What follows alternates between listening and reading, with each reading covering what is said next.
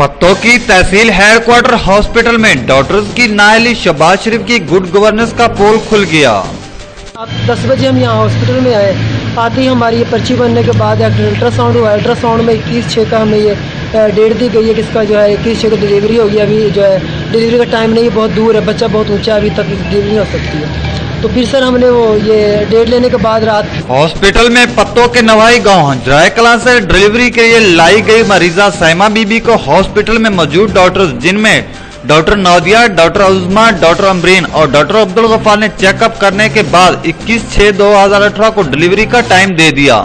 मरीजा के लोहा यकीन कहते रहे कि इन्हें बहुत दर्द हो रहा है। आप चेक करें, मगर किसी डॉक्टर ने चेकअप नहीं किया और कहा कि आपको डेट दी गई है।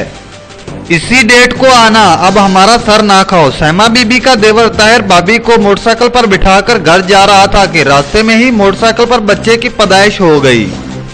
पास से गुजरने वाले लोगों ने फ़ौरन पर्दा किया और औरतों ने बच्चे की पैदाइश में रोड के ऊपर ही मदद की। पैदाइश के बाद ताहिर अपनी भाभी को रिक्शा में डालकर हॉस्पिटल ले आया कि आपने तो एक माह सोलह दिन बाद का टाइम दिया था, फिर बच्चे की पैदाइश आज कैसे हो गई? हॉस्पिटल में मौजूद डॉक्टर्स ने मिन्नत समाजित करके सहमा बीबी के हॉस्पिटल में दाखिल कर लिया और बात को छुपाने की कोशिश शुरू कर दी।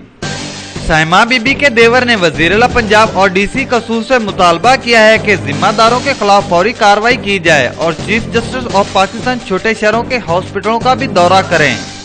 जहाँ मौजूद डॉक्टर अपनी मर्ज़ी से मरीजों का चेकअप करते हैं। कैमरामैन टीम के साथ अब्दुल रशीद म्यू, राज 24 न्यूज़ पतों की।